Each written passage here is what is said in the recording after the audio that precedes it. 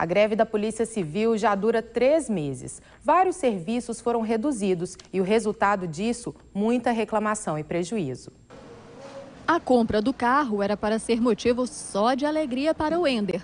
Há mais de um mês, ele tenta transferir o veículo, mas ficou nas tentativas. A dificuldade, segundo ele, é a greve da Polícia Civil. Dei a entrada na documentação dia 28 do 6, eu tinha um prazo é, legal aí de 30 dias né, para estar tá entrando com a documentação de transferência do veículo e até hoje, passados 72 dias, não tive nenhuma resposta.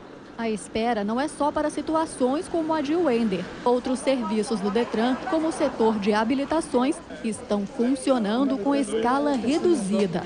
A greve da Polícia Civil já dura 90 dias. No norte de Minas, houve 100% de adesão das delegacias. Os atendimentos foram reduzidos a 30%, restritos a casos de urgência.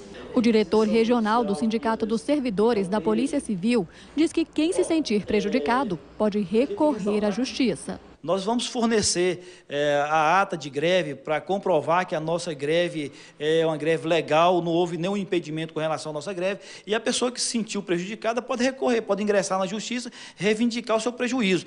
As negociações com o governo, segundo ele, estão em andamento. Se o governo atender é, é, essas nossas reivindicações, pelo menos o, o máximo delas, né, a gente retorna é, aos nossos trabalhos. Segundo a assessoria de comunicação da Polícia Civil em Belo Horizonte, as propostas reivindicadas foram encaminhadas para a Assembleia Legislativa. Legislativa perdão. Já a assessoria de comunicação da Assembleia informou que o projeto aguarda um parecer favorável de uma comissão para ser votado.